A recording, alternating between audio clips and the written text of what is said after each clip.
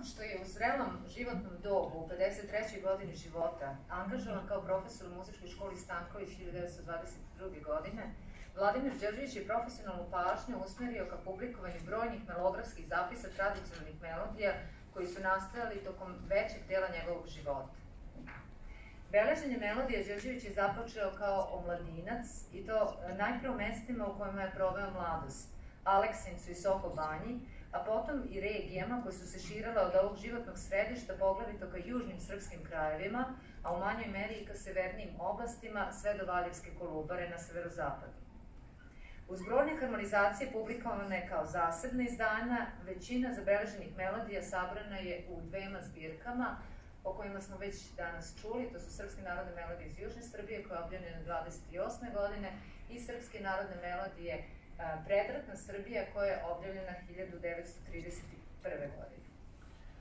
Budući da su naše kolege govorile o mnogim aspektima vezanim za Đorđevićev profesionalni, može se reći proto-etnomuzikološki rad, u ovom izlaganju posvetit ćemo se osvetljavanju njegovog doprinosa etnokoreološkim istraživanjima, odnosno melografisanju tradicionalnih plesnih melodija. U zbirci Srpske narodne melodije iz Južne Srbije zapisano je 428 melodija sa prostora današnje Makedonije, Kosova i Metohije i iz Novog pazara, a one, se, one su grupisane prema oblastima od juga ka severu, dakle od Preševa ka Novom pazaru. Uz znatan broj vokalnih plesnih melodija u ovoj zbirci zapisane su i četiri gajdaške melodije, zabeležene u okolini Skoplja, To su stara povraćena, pravo, stara krstena i povraćena. Ove melodije zapisane su u okviru tonalne osnove A-dura sa sniženim sedmim stupnjem i bordunskom osnovom na tonu E. Budući da su ovo prvi primjeri melografisanja gajdaških melodija u Srbiji, Potrebno je konstatovati Đorđevićev pažljiv odnos prema jasnom melografskom razgraničavanju motiva, te naznačavanju ukrasnih tonova i načina artikulisanja melodijskog toka putem odgovarajućih ligatura. Vokalne plesne melodije su u ovoj zbirci, kao što je napomenuto, brojne. Najčešće su zapisane u tonalnim osnovama C, D i E dura, Za razliku od gajdaških melodija, u vokalnim melodijama je zapisan samo osnovni melodijski kostor. Uz dočetvrtinsku, dočetvrtinsku taktovnu podelu zabeleženo je i preko 20 melodija u trodelnoj metričkoj pulsaciji. Na planu ritma indikativan je izostanak takozvanog aksaka, što se generalno ili može pripisati subjektivnoj percepciji zapisivača, koju je oblikovalo do tadašnje muzičko iskustvo, ili razumeti kao realno stanje u muzičkoj tradiciji vremena između dva svetska rata na prostoru današnje Makedonije na planu ritma. Važno je napomenuti da u ovoj zbirci nedostaje oznaka za tempo izvođenja. Sada ćemo se posvetiti uh, analizi melodija koje su zapisane u zbirci Srpske narodne melodije Predratna Srbija. U ovoj zbirci, zapisano je ukupno 585 primjera. Velika većina, ukupno 513 melodija je zabeležena na prostoru koji prema sistematizaciji takozvanih etnokoroloških celina Srbije pripada jugoistočnoj Srbiji. To su oblasti Vranjsko i Leskovačko pomoravlje, Pirotsko polje, Visok, Lužnica, Gornje i Donje Vlasina, Toplica, široka regija Ponišavlja koja uključuje Svrljig i Soko Banju, a potom i Aleksinačka i Kruševačka župa kao i Rasina, koje predstavljaju predeone celine ka takozvanoj severoistočnoj Srbiji. Manji broj primjera zabeleženja na područjima takozvane centralne i zapadne Srbije u Temniću, Levču, Jesenici, okolini Kraljeva, Studeničkom kraju i najzad okolini Valjeva. Kao i u prethodnoj zbirci, Primjeri su grupisani prema oblastima, a poređeni su prema mestima beleženja od jugoistoka ka severozapadu. Pored pesama, u svim zabeleženim oblastima zabeležen je i određen broj plesnih melodija koje predstavljaju, kako bi to Olivera Vasić iskazala, okosnicu tradicionalnog seoskog plesnog repertoara Srbije s kraja 19. i početkom 20. veka. Zbirka melodija iz predratne Srbije ukazuje na razvijanje promišljanja u traženju adekvatnog melografisanja ponajviše po pitanjima oslobađanja od nametnutog određivanja tonskog roda melodija imperativa njihovog fiksnog metroritmičkog određenja, odnosno zapisivanja prema taktovima, kao i po uvođenju naznaka za netemperovane tonske visine. O tome smo nešto više čuli u izlaganju naše drage koleginice, dr. Sanja Ranković. Pored razvoja pristupa melografiji, ova zbirka je dragocena i zbog toga što se u njoj nalaze i mnoge melodije tradicionalnih plesova koje su izvođene u vokalnoj ili instrumentalnoj interpretaciji. Mada Đorđević to nije posebno isticao, osim u pojedinim slučajevima, mnoge od zabelešenih vokalnih melodija, kao i u prethodnoj zbirci, mogle su biti izvođene i vokalno i instrumentalno. Uprkos tome što su sve instrumentalne plesne melodije zapisane jednoglasno, veoma je dragoceno i to što je Đorđević kod svake melodije naznačio na kojem instrumentu je ona izvođena. To su duduk, svirajka, svirala frula, dvojnice, cevara, golemo gajde, gajde, karabe, koji još naziva na vunije ili male gajde i kako to Đorđević e, kaže srednje gajde, e, zatim ćemane, odnosno violina. O tome smo takođe imali prilike više da čujemo u izlaganju koleginice dr. Mirjane Zakić. Melodije plesova zabelešene su metodom preskriptivne transkripcije, namenjene čitanju, odnosno muzičkom interpretiranju. Zapisi donose melodijski kostur sa dosledno određenim tačnim tempom izvođenja u ovoj zbirci, što je od velike pomoći ka kasnije reinterpretaciji ovih plesova u praksi.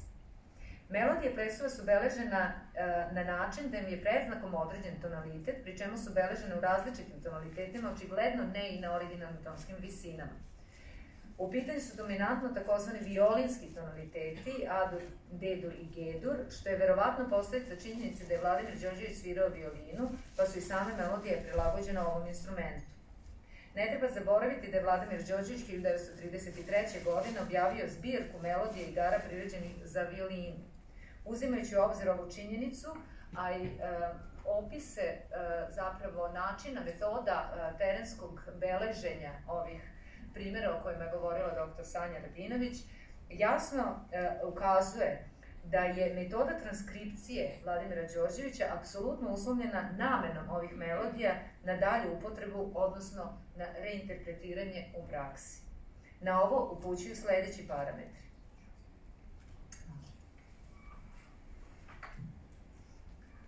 Zabeležan melodijski kostur sa ispisanim repeticijama što ukazuje na zanemarivanje varijantnosti kao jedna od fundamentalnih karakteristika tradicionalne muzike, a posebno instrumentalne vezane za ples. Drugim rečima, zabeleženi su takozvani invariantni melodijski obrazci, čime je muzička slika istraženih i obrađenih područja na određen način generalizovana. Tonalitet u kojem su melodije zapisane je određen na način da se one najjednostavnije izvode na violini, ali i na instrumentima sa klavijaturom, odnosno na klaviru onog vremena. U ovom kontekstu još jednom treba napomenuti da u svom bogatom opusu Đorđević u svoje vreme komponuje kako za violinu, tako i za klavir. Takođe, ne treba zanemariti činjenicu da je period između dva svetska rata zapravo period razvoja radijske muzike pod uticajem takođe violiniste Vladimira Pavlovića Carevca.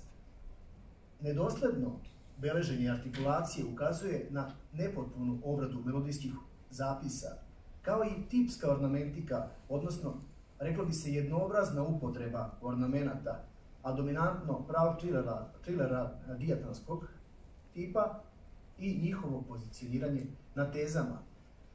Ovo delimično nedosledno beleženje navedenih parametara očigledno je uslovljeno težnjom Đorđevića da melodijski zapisi na određen način ostanu neutralni i to tako da oni praktično nisu potpuno verodostojne transkripcije originalnih izvođenja, niti su obrađene melodije za konkretno određeno instrumentalno izvođenje. izvođenje. Eventualnim detaljnijim beleženjem artikulacije, a posebno ornamentike, u melodijskim zapisima, krug potencijalnih korisnika ovog materijala bi se po pretpostavci smanjio jer bi ovi parametri izvesno bili prilagođeniji violini kao instrumentu, instrumentu uzimajući u obzir Đorđevićevo izvođačko iskustvo. Na ovaj način se zapravo očituje i osnovni poriv Vladimira Đorđevića u beleženju muzičkog materijala, a to je njegovo očuvanje u najbazičnijem mogućem smislu.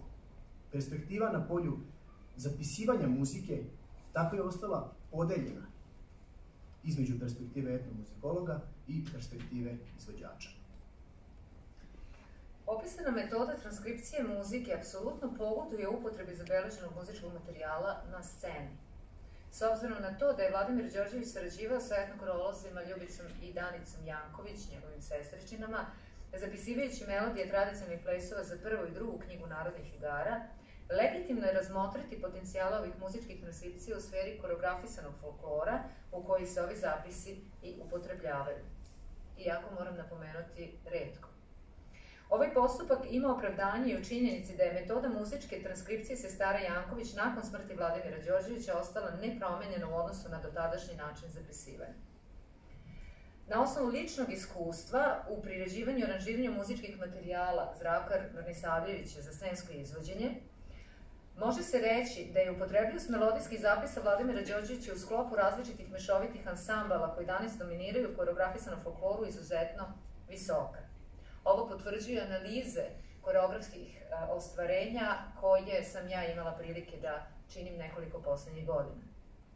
Pojednostavljeni melodijski obrazci jednostavno se izvode na različitim instrumentima, violini, harmonici, flauti, kao i na tradicionalnim instrumentima, fruli ili gajdama.